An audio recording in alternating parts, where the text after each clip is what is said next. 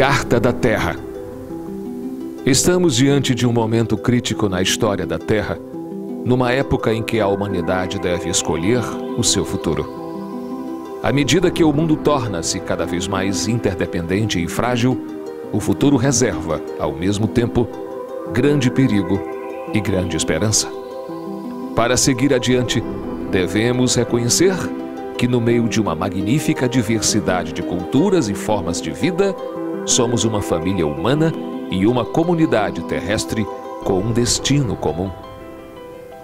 Devemos nos juntar para gerar uma sociedade sustentável global, fundada no respeito pela natureza, nos direitos humanos universais, na justiça econômica e numa cultura da paz. Para chegar a este propósito, é necessário que nós, os povos da Terra, declaremos nossa responsabilidade uns para com os outros, com a grande comunidade de vida e com as futuras gerações.